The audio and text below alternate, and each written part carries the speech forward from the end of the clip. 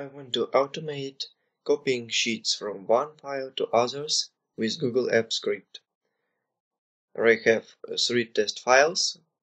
Uh, file number one is source file where I have four test sheets with named range, with protections, and with formulas referring other sheets. Also, I have files number 2 and number 3, which are empty. The engine is spreadsheet called Sheets Copier. This is the file containing two sheets with settings and the script. The main sheet is Sheet Copier. Sheet code ini has automatic formulas, you don't need to set it. So let's go to Sheets Copier and here you see file ID from, file from browser URL and here is the ID of this file. Just copy it and go to sheets copier and paste it here. Sheet name which you want to copy.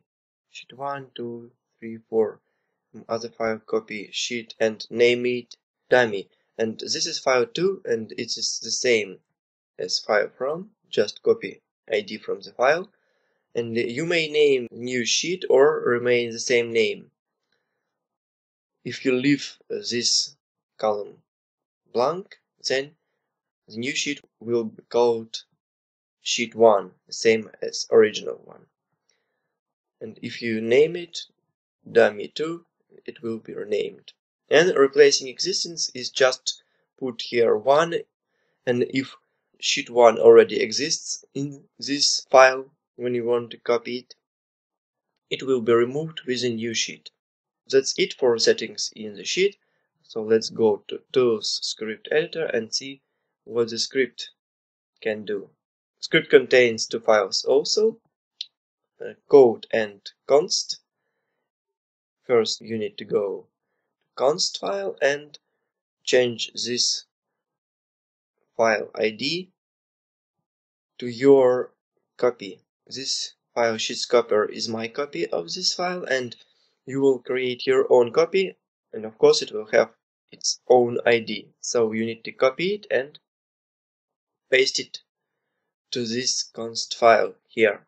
Put your file ID here. Then go to code and you may launch this function test copy sheets by task IDs. Task IDs are numbers delimited by semicolon.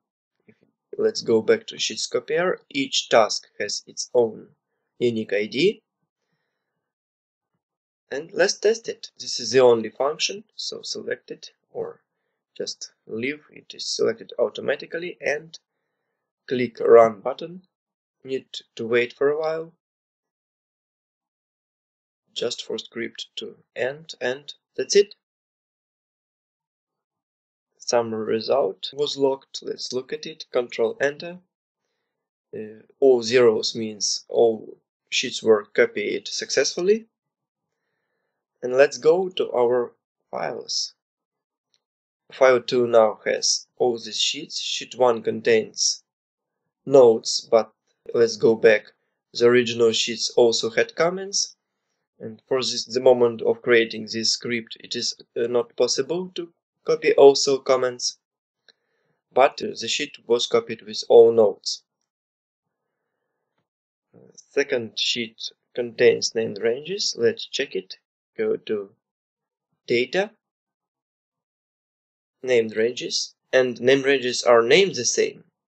This was also developed in my script. This sheet will show warning if I enter something.